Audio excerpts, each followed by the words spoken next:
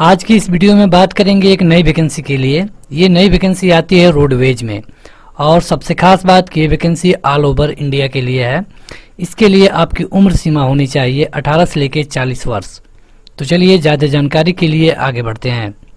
Subscribe करिए study for job channel को और बेल आइकन को दबाइए लेटेस्ट अपडेट सबसे पहले पाने के लिए। ये वैकेंसी आती है उत्तर प्रदेश से और ये वैकेंसी है उत्तर प्रदेश रोडवेज़ में। इसमें जो पद हैं, वो हैं कंडक्टर के लिए, और इसमें कुल मिला के एक सौ ग्यारह पोस्ट है। ये 111 पोस्ट संविदा पर होगा। इसके लिए कैंडिडेट की एजुकेशनल क्वालिफिकेशन बारहवीं पास होनी चाहिए। ज़्यादा जानकारी के लिए आप इसका नोटिफिकेशन ज़रूर पढ़ लेंगे।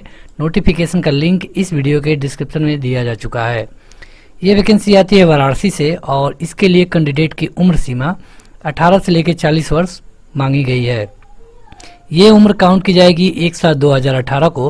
हालाँकि इसके बावजूद ओबीसी को तीन साल और एस सी को पाँच साल की छूट मिलती है। ये फार्म ऑनलाइन तरीके से भरा जा रहा है।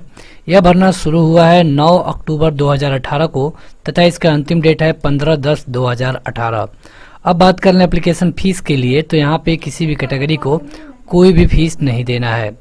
ये वैकेंसी ऑल ओवर इंडिया के लिए है और यहाँ पे आपका सिलेक्शन मेरिट लिस्ट के आधार पे होता है।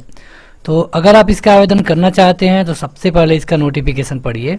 इसके नोटिफिकेशन का लिंक इस वीडियो के डिस्क्रिप्शन में दिया जा चुका है। वहाँ से आप इस फार्म को आवेदन भी कर सकते हैं। तो इस वीडियो में इतना ही। आप इस वीडियो को लाइक करिए, अपने दोस्तों में शेयर करिए। स्टडी और जॉब की अपडेट सबसे पहले पाने के लिए हमारे चैनल को सब्सक्राइब करें। Thank you